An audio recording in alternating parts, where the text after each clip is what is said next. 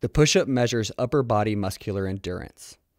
The candidate will assume a prone position supported by one knee on a mat or on the floor. On the command Get Set, assume the front leaning rest position with arms fully extended. On the command Go, begin the push up event by bending your elbows and lowering your entire body as a single unit until your upper arms or triceps are at least parallel to the ground. Arms should be placed just outside the shoulders with fingers facing forward. Return to the start position by fully extending your arms and raising your entire body as a single unit. Ensure the footage shows your entire body, from below your feet to above your head. Film at an angle, making it easy to see the full range of motion throughout each repetition.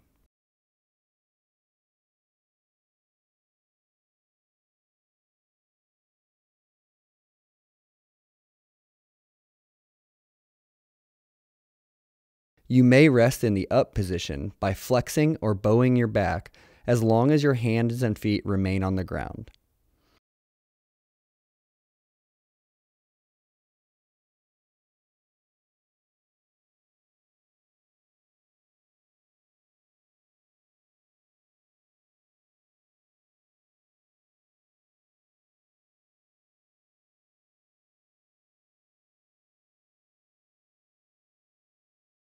Feet may be up to 12 inches apart.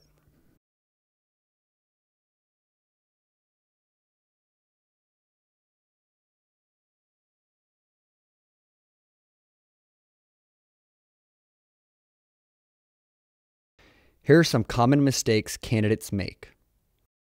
Throughout the event, both your hands and feet must remain on the ground at all times.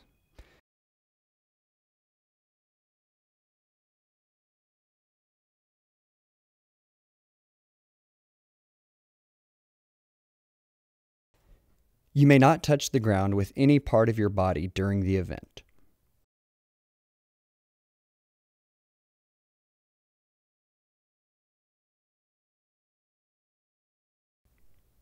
When viewed from the side, your body should form a straight line from your shoulders to your ankles.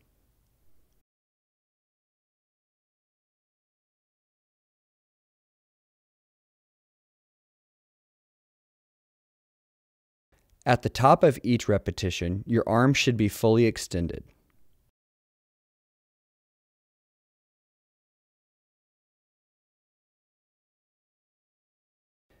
The proper depth for each repetition is where your triceps are at or below parallel to the ground.